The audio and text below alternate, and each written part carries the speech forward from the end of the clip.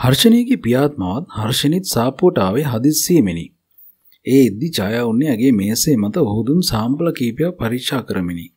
හර්ෂණිත් සමගා දෙදෙනා ඇගේ අම්මා තාත්තත් බව ඡායා දුටවනම ඇඳින ගත්තාය. ඇයට ඉබේටම මෙන් බැලුනේ ඇගේ මේසෙට අද්දරව තිබූ අසංකගේ කාමරය දෙසේ. පපුව අලුත් ගින්දරකින් දැවීගෙන යන්නක් මෙන් ඇයට දැන්නේ. මේ කොහේ යන ගමන්දයි. රණතුංග මහත්මිය ඉඳගෙන වුන් පුටුවෙන් නැගිටමින් ඇසුවාය. ඇය ඔවුන් හා කතා කළේ පුදුමාකාර සතුටකිනි. මිහිටමයි නංගි ආවේ. නංගී පුතයි ගෙදර යද්දිත් රෑ වෙනවනේ. ඉඳගන්න අයියේ. ආ මෙතනට එන්න. රණතුංග මහත්මිය හර්ෂණගේ පියාට පෑවේ ඇගේ අසුනේ. ඒ තරම්ම භක්තියක් ඇගේ සිටිය ඔහුට ඇවිය. පුතා මේ මාමයි නැන්ද ඇවිත්. මාත් ඇවිත්. හර්ෂණේ හුරුදල් හනින් කීවායි. ඡායා උන්නේ හිසවත් ඔසවන්නේ නැතුවයි. අසංක ඔහුගේ පුටුවෙන් නැගිට ආවේ ඡායා ළඟින්මයි. අද මට මහ මොකද්ද දැන්නව රත්තරන් ඡායා ඔහු ළඟින් යද්දි කීවේ සිටිනේ. අල්ලාගෙන මුන් පෑන පවා හරියට අල්ලා ගන්නට බැරිසෑ කෑට දැන්නේ. අතේ තරමට වෙවුලයි. අම්මයි පුතාවයි දෙන්නවම අල්ලගන්න නම් සාප්පුවටම ඉන්න ඕන. හර්ෂණයගේ පියාව රණතුංග මහතා කිව්වේ සිනාසෙමිනේ. උදෙන්ම ගියාම මේ හොරාව අල්ලගන්න පුළුවන්. නමේ වෙනකල් නිදි. හර්ෂණයගේ හඬේ වූ හැම සුවරයක්ම ඡායා වෙන වෙනම ගෙන ඇසුවායි. ඒ හඬේ ආදරයක් නැතයි කිව නැහැක. පුතයි මාය සෙනසුරාද එහෙ ඉන්නේ හිටියේ. එතකල් ඉන්න බෑනන්ගේ අර මං අවුරුදු ගාණක් ගන්න උත්සාහ කරපු වැල්ලවත්තේ ඉඩම මට හම්බ වුණා. ගෝල් රෝඩ් එකේ ඉඩම. ඔව් නංගි, ඒ මිනිස්සයන් මට කතා කරලා රණතුංග මහත්මයා මේක ඉවරයක් කරලා දාමු කිව්වා. ඒක ෂෝක් ඉඩම. නැතුව අයියේ රණතුංග මහතා බැලුවේ අසංක දෙසිය. මං හිතුවේ නංගි අලුත් ඉඩම පුතාගේ නමටම ගන්න. පස්සේ ඕල ඔප්පු ආයෙත් හරවන්න වියදම් කරන්නේ මොකටද? ඒ කතාවට ඡායාගේ පමණක් නොව අසංකකීද පපුව හිරවිය. කෝටි ගන්න කීඩම කොහේ නමට ලියන්නේ ඇයි? මාමා හෂීගේ නමට ලියන්න කමක් නෑ. ඔහු පව්යයි ඡායාට සිතුනේ. දෛවී මේ අසීරු කඩුල්ලෙන් පැන ඔහුට ආ නොහැක. හෂීගේ නමට ලිව්වම මොකද පුතාගේ නමට ලිව්වම මොකද? රණතුංග මහත්තයා කියද්දී රණතුංග මහත්මිය බැලුවේ තම පුතා දෙසේ. ඒකනේ පුතා පර්චස් 50කට වැඩි. පුතා කැමති දෙයක් කරන්න. ඉඩම නිකන් තියන්නත් එපා. අපි එතන ෂොප් එකක් දාමු නේද අසංකయ్య. අසංක අසරණෝ සිනාසුමේ. ඡායා වෙවුලන අතින් පෑන අල්ලාගෙන සුදු කොලයක බලිය ඇඳායි. හදවතත් මේ බලිය සේම අවුලක් නෙවෙයිද? ඡායා පුතේ මෙහි ඉන්න. ඡායාගේ යටිපතුලේ සිට සීතල වීගෙන ගියේ. ඇය වහා ඇස්පියන්පත් වේගෙන් ගස ඇස් මොහොතකට හදාගත්තාය. අපි ලොකුසට තේ එකක් හදමු. ලොකුස බොන්නේ ඉඟුරු තේ. අක්ක මොනවාද බොන්නේ? මාත් තේ එකක් බොන්නම්. ඔයාට මැනික ඡායාගේ පපුව කැළදෙන්නට විය. ඇය ඇයගේ ලේලියට කතා කරන්නේ කොතරම් ආදරකින්ද. මටත් ඒකක් හොඳයි. ඔයා තේ බොනවා පුදුමයි. රණතුංග මහත්මිය කීවාය. තේ බොන්නත් දැන් පුරුදු වෙන්න එපයි. හර්ෂිනී සිනාසී කීවාය. එහෙනම් පුතේ හොඳට තේ හදන් ඉන්න. ලොකුසාගේ තේකට සීනි අඩුවෙන් දාන්න. ඡායා හිසවනා එතනින් මෑත් වූවාය. සීදීවි කෙල්ලෙක් නංගි ළඟ කලින් හිටියේ වැඩ ගන්න නැති ළමයි. රණතුංග මහතා එසේ කියද්දි ඡායාගේ හිත මොහොතකට මෙලෙක් විය. හර්ෂණයගේ පියා ඇත්තටම කරුණාබර පුද්ගලයෙගේ ඇයට සිතුනි. එවන් උතුම් කෙනෙකුට ඔහු කෙසේ එරෙහිවන්නද? කෙල්ල ආවත් හරි මගේ වැඩවලින් භාගයක් අඩු වුණා. රණතුංග මහත්මිය කීවේ ආශාවෙනි. ඡායට හොඳක් කියන්නට ඇය කවදත් කැමතිය. බිස්නස් කොහමද නංගි? ගොඩක් හොඳයි අයියේ. කරගන්න බැරි එක තමයි තියෙන්නේ. ඡාය පිටතට එද්දී නිලංකා පරිස්සමින් ඒ මුහුණ දෙස බැලුවාය. සීල දුකේ මුහුණ මත රැඳී තිබුණ ඇය දැක්කාය. මොනවාද කෙල්ල කියන්නේ? දන්නේ නැහැ නිලංකා. ඡායා කිව්වේ දුක්බර වේ. එයාට ලොකු ඉඩමක් කරන් වෙල්ලවත්තේ. අපේ සර්ට හ්ම්. එයාගේ නමට ලියනවලු. ඉන් සිතාගත හැකි එක් දෙයක් පමණි. එසේ ලියන්නේ අසංක ඔවුන්ගේ බෑනා නිසාය. ඔවන් බෑනා කෙනෙකුට දුවක් දෙද්දී එහෙම දුන්නාට පවු නැත. එයාට මොනවත් කරන්න බැරි වෙයි. අනේ ඔබ දැන් අඬ අඬ යන්න එපා කෙල්ලේ. මට දරා ගන්න පුළුවන් නිලංකා. ඒ දවසක උඹට මේ ආදරේ නැති වෙද්දි උඹට ඒක දරා ගන්න කොහොමදවත් බැරි වෙයි. නිලංකා සිටුවේ දුකිනේ. නිලංකා කෙල්ලේ එයාලා හදිස්සිය ආවේ ඇයි දන්නේ නේද? ඡායාගේ ඇස් අගිස්සක හීන් කඳුලක් විය.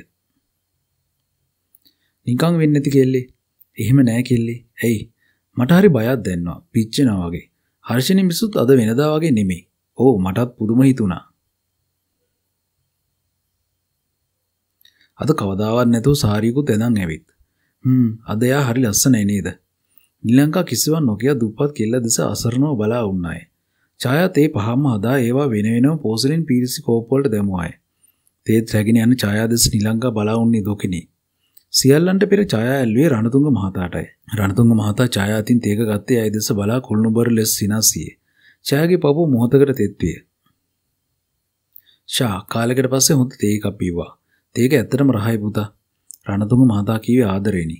ඡායා හර්ෂණේගේ මවට අල්ලා ඊට පසු ඇල්ලුවේ හර්ෂණීටියේ. කිරි වෙනමම ගෙනාවා මිස් ටිකක් දාන්නද? ඡායා ඇසුවේ අය නිකන් තේ නොබන බව දැනගෙනේ. හ්ම් කමක් නැහැ ප්ලේන්ට් හොඳයි. ඇයි කවරදාටත් වඩා අද හොඳින් කතා කරන්නේයි ඡායට පුදුම සිතුනේ. අවසානට තේ ඇල්ලුවේ ඔහුට. ඔහුට තේ අල්ලද්දි ඡායා මොහොතකට ඒ මුණ දෙස බැලුවාය. ඒ තරම් අසරණකමක් අය කෙදිනකවත් ඒ මුහුණින් දැක නැත. ෆන්ෂන් දෙකක් ගන්න එක තේරුමක් නෑ නංගි. නංගිටයි මටයි කියලා වෙන වෙනම කට්ටිය නෑනේ. ඡායට ඒ කතාව ඇසුනේ තේ අල්ලා ඇගේ මේසෙට යද්දී. අත තිබු ට්‍රේ එක දැන් දැන් වැටේ ඇයට සිතුනේ. ඇය එහෙමම ඇගේ පුටුවට බර වූයේ හිස තොද කරන කලන්ත ගතියක් හැදීගෙන ආනිසාය. අනේ අයියේ මට නම් උත්සාහ නැතත් කමක් නැහැ. දෙන්නගේ කසාදේ රෙජිස්ටර් කරලා කිරිබත් කටක් කෑවත් මට ඇති. රණතුංග මහත්මිය කිව්වේ තරමක් ඇඬුම්බර හඬිනි. අත තිබූ පෑනෙන් පපුවට ඇනගෙන ඇනගෙන යන්නට තරම් දුකක් ඡායට ඇතිවි. දෙවීනි මේ අසන්නට වෙන්නේ මොනවද? අපට ආයේ මගුලක් ගන්න දරුවෙක් නැහැ නංගි. තියෙන ළඟම නැකත ගන්න. නංගි ඒවට මහන්සි වෙන්න එපා. මං ඒවා බලා ගන්නම්.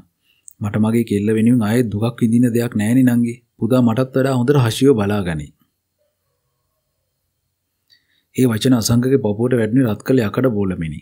හොට ඉවසන්නට බැරිම දුක ඡායා මේ සියල්ල අසාගෙන සිටීමේ. දැන් කෙල්ලව කොහොමඩවත් සනසන්නට බැරි බව අසංකදනී. බැඳලා දෙන්නත් එක්ක සතුටින් ඉන්නයි තියෙන්නේ. බැඳා කියලා දෙන්නව අපි වෙන් කරලා තියන්නේ මේ ඔක්කොම ඔය දෙන්නට. දෙන්නම ඉන්න තැන මම කියන්නේ ප්‍රශ්න නැතිකමට ප්‍රශ්න හදාගන්න නම් එපා. දෙන්නගම ජීවිතය අපරාධ වෙයි. රණතුංග මහතා කීවේ අසංග දෙසත් හර්ෂණී දෙසත් බලාය. මට නම් අපේ එක්කිනාටත් වඩා පුතා විශ්වාසයි. මේකිනම් මෝඩ ගහනේ.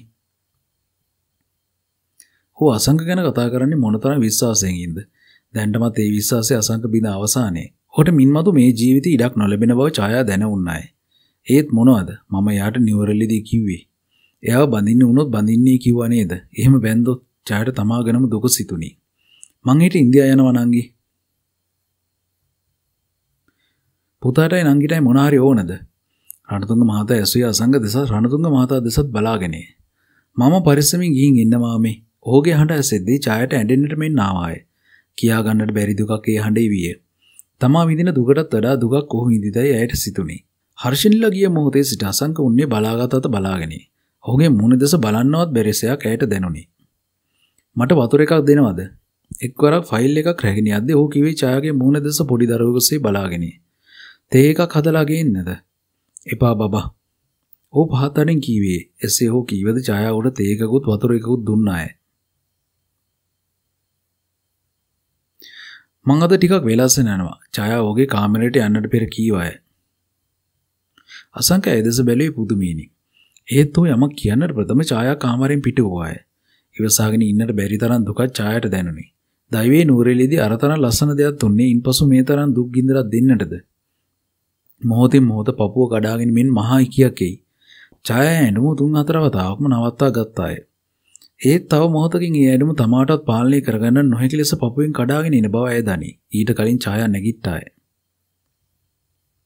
මැඩම් රණතුංග මහත්මිය හිස එසවිය එකවරේ. ඇයි දරුවෝ මොකද මේ අසනීපින් වගේ? මං අද ටිකක් මැඩම් වේලසන යන්නද? ඡායා එසේ නියවඩු ලබා ගන්න සේවිකාවක් නොවේ. ඇයි දරුවෝ ටිකක් අසනීපයි වගේ මැඩම්? පැනඩෝල් මොන හරි ගත්තද? ගත්ත මැඩම් අඩු උනේ නෑ. ඔය අමාරු බැන්දම ඇරිලා යනවා. මං ජයන්තර කියන්නද වාහනයෙන් ගෙදරට දාන්න කියලා. අනේ මැඩම් මට බස්ස කියන්න පුළුවන්. හා එහෙනම් යන්න. ඡාය හෑන්ඩ් බාගෙද දමාගෙන මොහොතකට උදෙස බැලුවාය. එහෙම වුණ කඩා වැටුණු මලක් මෙනි. ඡාය එහෙමම මහපාරට ආවාය. අවට මහ වැස්ස බව ඇය දැනගත්තේ පහළට ආපසුය. කොළඹ නගරයේම දෙවනත් කරමින් මින් මහවැසි ඇද වැටේ. ඇතුලේ සිටිද්දී ඒ බව පෙනෙන්නේ නැත. ඡායගේ දිනතින් දිග කඳුළු ගලාගෙන යන්නට උවේ ඇය මහවැස්සේ කුඩා කුඩේද ඔසවාගෙන තුන්මුල්ලට යද්දී මේ මාවතේ මුල්ම වරට ගිය දවස ඡායට සීවියේ. එදා මේ මග නොආවනම් අද මේ තරම් පපුවර දුකක් නැත. ඡායාගේ දෙනෙත් වලින් ගලන කඳුළු කිසිවකු නොදුටුවේ ඒ තරමට මහවැසි ඇඳ වැටෙමින් තිබූ නිසාය. ඇයි කිසිවකු එදයි සිතමින් මෙන් තුන්මුල්ල ලක්සල අසල බස් නැවතුමේ බලා උන්නාය. තුන්මුල්ල වටරවුම වැස්සට මොහොතකට පාළුවට ගොස් තිබුණි. ජීවිතෙම අද පාළුවට ගියක් වෙන්නේ. ඡායා සෑහෙන වෙලාවකට පසු ආ බස්රියට නැග්ගාය. එහෙම බස්රියේ පසුපස අසුනකට බර වූ ඇය දෑතිම මුහුණ වසා ගත්තාය. ආදරේ පපුවට ගෙනේන දුක මේ තරම් කටකොද ඇයට සිතා ගන්නටත් බැරි විය. ඡායා ගොඩගමින් බසිද්දීත් වැස්සේ. වෙලාව සවස 6 පමණ වුවද පරිසරයේ පුරා වූයේ රාත්‍රී 8 9ට ඇති අන්ධකාරයේ. ඇය බස්රියෙන් බැස්සේම වැස්සට වැටමින් තිබූ ධාරානිපත වැස්ස ගෙල්ලව මොහොතකට තෙමා දැම්මේ. ඇය කුඩි ඉහළ ගත්තේ ඉන්පසුය. අසංග මේ සියල්ල බලාගෙන ඔහු සාපුවෙන් පිටුවේ ඡායා පිටුවේ පෑ භාගයකට පසුවේ.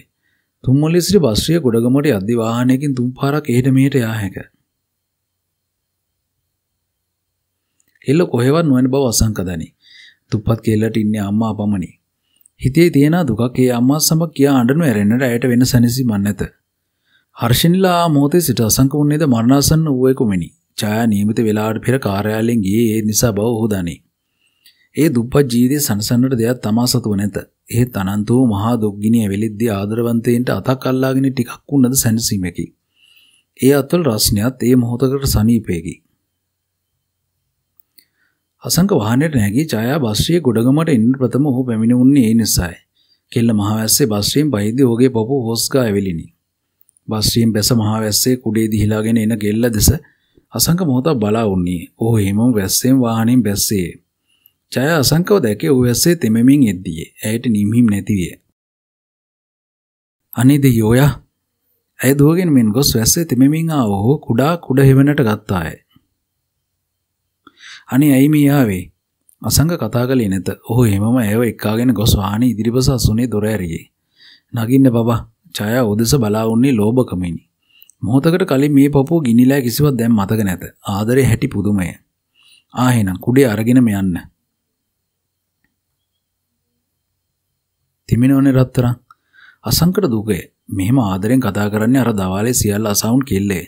අසංග ඡායා වාහනේට නංවා අනිත් පැත්තෙන් පැමිණ වාහනේට ගොඩ විය. ඇයි වැස්සේ බැහැලා ආවේ? මේ තෙමිලත් එක්ක හොඳටම. ඡායාගේ අත්බෑගේ තිබූ ලේන්සුවක් ගෙන ඔහුගේ මූණ පුරා තිස්ස පුරා රැඳි වැසි බින්දු පිස දැම්මාය. කෙල්ලට ඇඬුනේ එසේ පිස දමාගෙන යද්දීමයි. අනේ මට ඔයාවනේ නැති වෙන්නේ. ඒ දුක කොහොමදවත් පපුවේ හිර කරගෙන ඉන්නට හැකි දුකක් නොවේ. ඇහිට කිබුදිනේ පපුව පලාගෙන මෙනි. කොහෙට හරි යන් බබා. හ්ම්. යන් මටත් මෙහෙම ගෙදර යන්න බෑ. සැබෑ කෙල්ලගේ දැස් සිදිමි ඇත. ඇයි බස්රියේ ඉන්නට ඇත්තේ අඬ අඬාය. මට එයි කියලා හිතුණා. මම ඔව්. අසංක වාහනේ පැදුවේ හංවැල්ල කැලණි නදී ගඟබඩ පෙදෙසටය. මතකද මෙතන කැලණි නදී ගඟබඩ අසලෝ කුඩා හෝටලේ අසල වාහනේ නවතද්දී අසංක ඇසුවේ. ඔයත් එක්ක කතා කරපු හැම තප්පරයක්ම මගේ හිතේ තියෙනවා. ඒක නැති වෙන්නේ එන්න.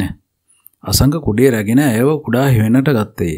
එදා මේ සොඳුරු නවාතැනට එද්දී හිත තිබුණේ කොතරම් සැහැල්ලුවෙන්ද. ඒත් අද අවටින් මහා වැසි වැටෙද්දී ඡායත් අසංකත් ඒ අවන්හලේ පහළ බිම් තීරය වූ කුඩා හට් එකකට පියමැන්නෝය. ඔහු ඉඳගත්තද ඡායා ඉඳගත්තේ නැත. ඇයි බබා? එදා මම ඔයාට කිව්වා රත්තරන් මෙතන ඉදීම. මොකද්ද? මේ දුප්පත් කෙල්ලට ආදරය කරලා දුක් විඳින්න වෙයි කියලා. ඌ පරාජිත මොහොනින් වැස්ස දෙස බලා උන්නේ. ඡායාගේ දිග දෝතින් ඒ මුහුණම ගත්තාය. මට ජීවත් වෙන්න බැරි වෙයි. මටත් බෑ බබා. මම මේ දුක දරා ගන්නම් රත්තරන්. මෙහෙම කියද්දිත් පපුව ගල් බෝර දැම්මාක් මෙන් දෙදරාගෙන යයි. මං මං බෑ රත්තරන් ඔයාට කතා කරන්න බෑ. මොනවත් කියන්නත් එපා. මට බබා නැතුව ජීවත් වෙන්න බෑ. දන්නවා. මං කොහොමද? මාව දාලා යන්නේ නේද? කවදාවත් නෑ. හීනියක් දැක්කා. ඒත් ඒ හීනි මෙච්චර ඉක්මනට මිදිලායි කියලා හිතුවේ නෑ. මං තව මොනවාරි කරන්න. මං අම්මට කියන්නම්. එපා රත්තරන් එපා. ඡායා කිව්වේ ඔහුගේ ළඟින්ම බිම ඉඳගනිමිනි.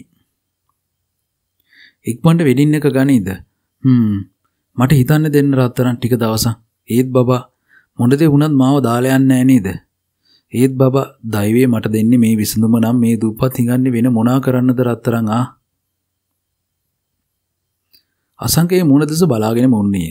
මම මේ අත් දෙක ගැන දන්නවා. මේ රස්නේ පවා මං අඳුරනවා. ආය මට වෙන කෙනෙක්ගේ ළඟට යන්න බෑ. ජීවිතේම ඔයාට දීලා ඉවරයි. ඡාය මේ ටික කීවේ අඬමින් නොවේ. මම කොහොමද බබා යන්නේ? දන්නේ මහත්තයෝ ඒත් මම ඉවසන්නම්. ඡාය එහෙමම අසංකගේ දෙදෙනට හිස තිබ්බාය. අසංක හ්ම්. ඇයියා අද සාරි අඳන් ආවේ? දන්නේ බබා. ලස්සනයි නේද? මට වෙන ගෑණියෙක්ගේ ලස්සන පේන්නේ නෑ බබා. මගේ මගේ ගෑණි ඔයා. ඒ වචන ටික ඇති රත්තරන් මේ ජීවිතේටම ඡායා කීවේ හූල්ලමින් මෙනි. ඡායා ඔහුගේ වාහනේ බසින්නට ප්‍රථම ඔහු දෙස බලාගත්තුනම් බලා වුණාය. පිනි පිනි හදවතට අහිමිව යන්නේ මේ ජීවිතේ. ඒ කොහොමදත් දරාගත හැකි දුකක් නොවේ. පාවාගත හැකි අහිමිවීමක් නොවේ. ඒ දෛවී ජීවිත අතර බෙදුම් ඉර අඳින්නේ හදවත්වල ඇවිලෙන දුක දෙස බලා නොවේ. තාමත් ධාරානිපාත වැස්සේ ඡායා අන්ධකාරය අතපතකා මෙන් ඔහුගේ වමත අල්ලා ගත්තයි. අද්දිකම සීතලය. අසංක ඡායා කතා කළේ විනාශම හඬිනි. අසංකගේ පපුව ගල් ගැස්සීගෙන ගියේ. කෙල්ලගේ හඬ අමුතේ. කියන්න බබා. එහෙත් කියන්නේ මොනවද? මං රත්තරන් මගේ හිත හදාගන්න නම් අමාරුයි. ඒත් බලන්නම්. ඡායා ඇසේ කිවි හිතකින් නෙවෙයි. ඒ ජීවිතය ඇත්ත ඉදිරියේ මීට වඩා දෙයක් කිව නොහැක. මං කොහොමද මගේ ඔහු කියන්නට ගිය දේ පවා ගිලගත්තේ. ඒත් අපිට කරන්නම වෙයි අසංක. හිමින් හිමින් හරි යාට ආදරය කරන්න පටන් ගන්න. අසංක ඡායාදස බැලුවේ හිඟන්නේ කොමෙනි. මං තරහ නෑ. ඡායා කිව්වේ පපුයින් ගොරෝදයක් මෙන් නෙද්දී.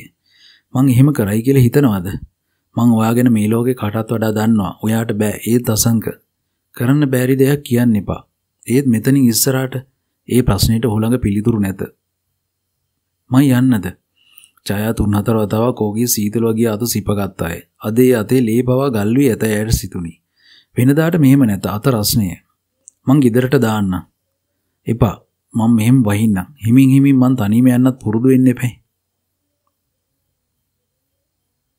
ඇයි කිව්වේ තරහකින් අහිතකින් නොවේ. ඒත් ඒවදන් ඔහුගේ පපුවට ගෙනාවේ ලෝදිය ගල්නා ගින්දරකි. හාස්කමක්වත් වෙනවනම් නේද? ජයා කිව්වේ බොළඳ හඬිනි. දෛවයේ මොනතරම් නපුරු තීරණයක් ජීවිතයේ ඉදිරියට ගෙන ආවද වෙලාවකට ඒ තීරණය එසෙයින් පිළිගන්නට හදවත සූදානම් නැත. පපුව රවටා ගන්නේ දුක වැඩි නිසායි. මං හිට නිවාඩු ගන්නද? හෙට විතරක්. මොකටද? කෝවිලකට යන්න බාරයක් වෙන්න. මාත් එන්නම්. එපා මං අම්මත් එක්ක යන්නම්. දෙයියවත් මට පිහිට වෙන්නේ නැහැ. ඒත් මං යන්නම්. ඡායා දොරට අත තැබුවායි. පරිස්සමින් යන්න. බුදු සරණයි හොඳේ. රැට නොකා ඉන්න එපා. ඡායා වැස්සෙන් බැස්සාය. කෙල්ල කොඩේ පවා ඉහළ ගත්තේ ටික දුරක් ගොස්සේ. අසංක එහෙමම උන්නේ. ටික දුරක් ගොස් ඇය හැරි බැලුවාය. "ඕ එහෙමම වේ. ඇය අතින් ඔහුට යන්නේයි කීවාය." කොතරම් නාඩා ඉන්නට හැදුවද ගෙට හැරෙන වෙදේවට ළඟදීම ඡායාගේ දෙන්නතින් කඳුළු වෙන්නේ. තෙවටේ තබන අඩියක් අඩියක් පස්ස ඇගේ කඳුළු අලුත්තිය. හදවත රිදවාගෙන එන හැම කෙල්ලෙක්ටම අම්මා ළඟට එද්දී නාඩා ඉන්නට නොහැක. සම්මා සම්බුදු අම්මාට හැරෙන්නට මේ දුක කාටනම් කියන්නද? වැස්සේන කෙල්ල දෙස බලවුන් පద్මාට මහා අමුත්තක් දැන්වේ. ඇයි දොරකඩ ළඟටම වී උන්නාය. වෙහි අන්ධකාරේ පවා ඇය කෙල්ලගේ ඇස්සල වූ තෙත් බව ඇඳින්නාය. අම්මලාට එහෙමේ. බුදුරුන්ට මේ දිවස් ඇත. පුතේ ඇයි මැනික? පත්ම ඇසුවේ කෙල්ල බිම් බලාගෙන කුඩේ අකුලක් දීමේ. කෙල්ලගේ ඇස්වල උතුරුන කඳුළු ඇය එහෙමම දැක්කාය. දරුවන්ගේ ඇස්වල වූ කඳුළු තරම් දෙමව්පියන්ට ගින්දරගෙන දෙන දෙයක් මේ ලෝකේ නැත. අම්මේ. ඡායා හිස් ඇසුවේ ඇස්වල උතුරුන කඳුළු සමගය. ඇයි පුතේ? අනේ අම්මේ මම. පත්මා එහෙමම කෙල්ලව ලං කරගත්තාය. ඡායා අම්මාට තුරුල්ලේ සෑහෙන වෙලාවක් ඇඬුවායි. අඬන්නේ ඇයිදයි කියාවත් පත්මා ඇසුවේ නැත. සෑහෙන දවසක සිට කෙල්ල ඉන්නේ ගින්නරින් බව පත්මා දනී. අද මොනවා හෝ වන්නට ඇත. මෙහෙම අඬන්න එපා මෙනික. ඒ ඇඬුම අම්මා කෙනෙකුට අසාගෙන සිටිය හැකි ඇඬුමක් නොවේ. ඒ තරම් දෙදිරීමක් කෙල්ලගේ පපුවෙන් එයි. මට යාව නැති වේද අම්මේ? ඒ කතාව අසාගෙන ඉන්න පවා අසීරුයි. ලෝකේ හැම අහිමි වීමකට වඩා ආදරේ අහිමි වීම බලවත්ය. ඒ අසරණයන්ගේ හදවතල සදාකාලික ආවාට හදයි. අඬන්න එපා පුතේ. මගේ මැඩිකට එහෙම වෙන්නේ මට හරි බයයි අම්මේ. යාව නැති වුණොත් මං පద్මාගේ දැස් වලින් කඳුලක් ඇටිනි. ඇත්තරම එසේ වූ තම කෙල්ල හිඟන්නේ තනි වෙනව නොවේද? එයා මාව දාලා යන්නේ අම්මේ. පව්. දැනුත් බස්සලා ගියේ. ඒත් අපි හිමීට කතා කරමු. දැන් ටිකක් ඉන්න. අපිට කොහේ හරි යන්න අම්මා බාරයක් වෙන්න. හ්ම් යම් පාන්දරයක්. ඡායා ඇඳට වැටෙන සාරි පිටින්මයි. කාන්තාරයක තනියවක් බඳු අනන්ත දුකක් තනිකමක් ඇයට දැනුනි. ඔයා තාමත් මල් ළඟ ඉන්නවා. එහෙම තියෙද්දිත් මෙහෙම දුකක් දැනෙනවා නම් ඡායට මහා පියක් දැනුනි. පద్මා සෑහෙන වෙලාවක් කෙල්ලට එහෙමම ඉන්නට දුන්නාය. ආදරේ දුකින් පපුව පලාගත් කෙල්ලෙකුගේ හදවතේ හැඟීම් මේ අම්මාට තේරුම් ගත හැක. ඇය කෙල්ල ළඟට මේ ඔළුව අතකගා ඔන්නේ ඒ නිසායි. අද කාලවත් නැතුව ඇති. පద్මාට හිල්ලිනි. සෑහෙන වෙලාවකට පසු පද්මා නැගිට ගොස් ඇයට කිරිකෝපි එකක් හදාගෙන ආවාය. නැගිටින්න පුතේ මේක බොන්න. ඡායා හිසෙස් වී දිමී ගිය දැස්සල්නි. අද දවසම අඬලා වගේ පද්මා ඡායාගේ දෙනෙත් දෙස බලා සිටුවාය. අම්මා හදාගෙන ආ කිරිකෝපි එකකින් ඇය උගුරක් බිව්වාය. මද රස්නිං යුදෝ කිලියකෝපි උගුර ලේ රහවේ තිබූ උගුරින් පහලට ගිය සනීප ලෙසිනි. ඡය අම්මට සියල්ල කීවාය. පద్මා අසාගෙන උන්නේ සාවධානයෙනි. දෛවයේ දෙන්නා මේ ලෙස කවදාක හෝ ඉර කරන බව පద్මාත් දැන උන්නාය. සමහර ප්‍රශ්නේදී ටිකක් ඉවසන්න වෙනවා පුතේ. පద్මා කිව්වේ මෘදු හඬිනි. එයාව ලැබෙනවා නම් ජීවිත කාලෙම ඉවසන්න පුළුවන් අම්මේ මට පුළුවන්. ගෑනුන්ට එසේ කළ හැකි බව පద్මා දැන උනායි. එහෙත් පිරිමින්ට ඒ දේ කළ නොහැක. ඒ තරම් ඉවසිය නොහැක. දෙන්නම ඒක හිතන් ඉන්න එකේ කවදා හරි එහෙම වේද අම්මේ?